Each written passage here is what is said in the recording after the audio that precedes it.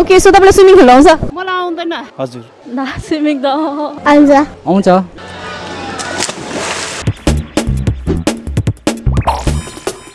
Hello everyone, welcome you to my show The Street Tells. So we are here at Sundar Resort right now.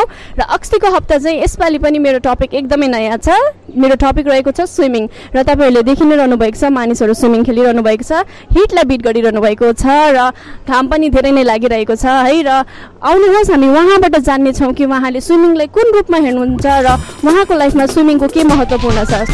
Hello hello hi what's name Karan Vishwakarma कहाँबाट हुनुहुन्छ? म Sintam so सबैजना धेरै जस्तो यो सिङतामबाट आउनुहुँदो रहेछ है तपाईँलाई स्विमिङ खेल्नु आउँछ ठिक ठिकै आउँदैन first time not as a professionally but yes as a hobby आउँछ मलाई आउँदैन कि?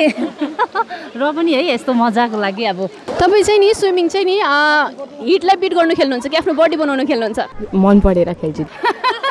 हिटलाई बिट गर्नु। अलिकति बडी पनि इन्ट्रेस्ट लाग्छ होइन? अन्त नानीहरूको लागि अब उस उनीहरूको उनीहरू अस्तिदेखि आउँछु भन्नुहुँदै थियो कि अन्त त्यो नानीहरूलाई इन्जोयको लागि। म आफ्नै बडीकै लागि नै हो।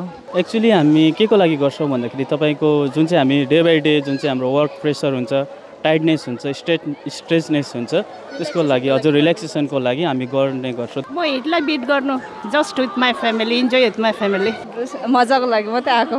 ओके सो अब अहिलेको युगमा मानिसहरू फिट बस्नुको लागि के के गर्छ है? तपाईँलाई लाग्छ स्विमिङले मान्छेलाई फिट बस्नुको लागि हेल्प गर्छ भनेर? गर्छ एकदमै स्विमिङले पनि। स्विमिङले चाहिँ किन हेल्प गर्दैन? गर्छ नि स्विमिङले। अब swimming is the best exercise भन्छ होइन? जसले अब आफ्नो फ्याटहरू लुज गर्न चाहन्छ होइन। Best uh, form of exercise, I, I must say. Body पुरै उयो गर्नु पऱ्यो नि त स्विमिङ गर्दाखेरि त। पुरा स्विङ हुन्छ होइन। बडीलाई एकदम राम्रो हुन्छ। ओके सो तपाईँलाई जिम गर्नु मनपर्छ कि स्विमिङ गर्नु मनपर्छ? जिम गर्नु मजा लाग्छ लाइक हुन्छ नि। जिममा पनि मजा हुन्छ। बेसिकल्ली यो समर टाइममा चाहिँ मलाई स्विमिङ नै बेटर लाग्छ। हजुर म जिमको लभर हो। जिममा मलाई ज्यादा टाइम जिममै स्पेन्ड गर्नु मनपर्छ। मलाई चाहिँ स्विमिङ गर्नु नै मनपर्छ। मन आफ्नो आफ्नै हुन्छ। अब जिमको लागि पावर एक्सर्साइजहरूको लागि चाहिँ gymming is better I mean if you want to build up strength अब स्ट्यामिना बडीको stretching proper exercise full body एक्सर्साइजको लागि चाहिँ स्विमिङ बेटर हो। अब जिमै गर्नु मजा आउँछ। स्विमिङ स्विमिङ बेसी गर्नु बिमारहरू हुने डर होइन? त्यसले जिमै गर्नु भन्छु अलिअलि। ओके सो माइकल फिलिप्सको हो याद छ तपाईँलाई यस अभियसली एभ्रिबडी नोज ला मलाई त्यस्तो केही याद छैन। त्यो चाहिँ मलाई थाहा भएन। वेज है त्यस्तो चिन्दिनँ। त्यो त मलाई याद भएन। स्विमिङको त्यति नलेज छैन त्यति साह्रो मलाई I think is the world champion he is a famous all over वर्ल्डमा फेमस एउटा स्विमर हो जसको रेकर्डहरू चाहिँ धेरै छ। अरू एज पर अदर ओलम्पियनहरू भन्दा उसको स्विमर स्विमिङ उसको फिल्डमा चाहिँ धेरै छ मेडल्सहरू पहिला स्विमिङ पुलहरू थिएन है?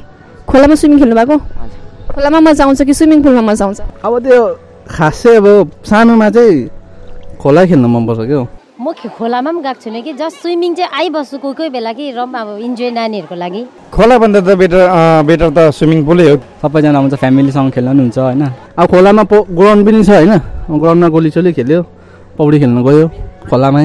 अब पौडी खेल्नु सिक्नु कति कुरो आफूले यहाँ जान्नुको लागि चाहिँ स्विमिङ पुल बेटर किन? खोलामा बोकाउने डर हुन्छ होइन? हजुर सानोमा बचपनमा खो तपाईँको खोला भन्दा पनि यस्तो बारेर हामी खेल्ने गर्थ्यौँ। त्यो भने सेफ्टी हो स्विमिङमा होइन? किनभने चाहिँ अब यहाँ स्विमिङ पुलमा सबै आफूले एउटा मजा लिएर बसेको हुन्छ।